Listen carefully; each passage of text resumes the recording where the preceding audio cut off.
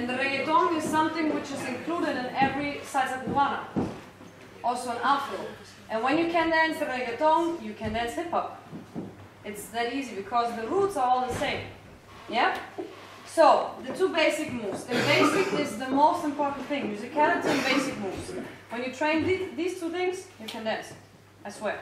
And then we have to work um, on the attitude. okay? We are here. Boom, chest, up.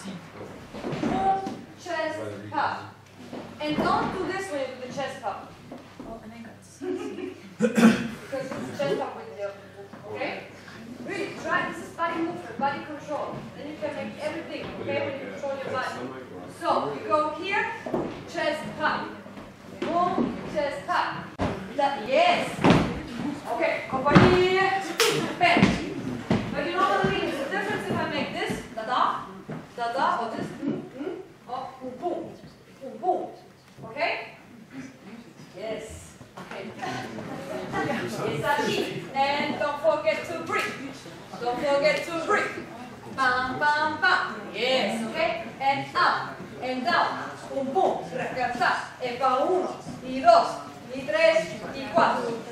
Yes. Everything with music?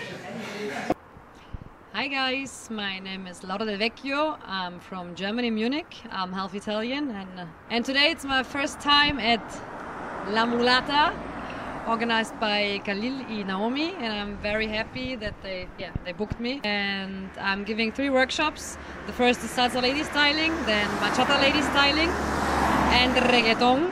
And I'm very happy to teach here. The students are amazing. I know Naomi and Khalil from Que Rico Festival. Yes, and so it's my first time. The dance school is amazing.